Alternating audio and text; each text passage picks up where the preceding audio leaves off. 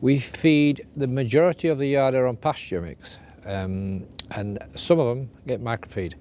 Uh, we think that the pasture is a really good base food and uh, generally most horses will compete and behave and keep the weight right on the pasture.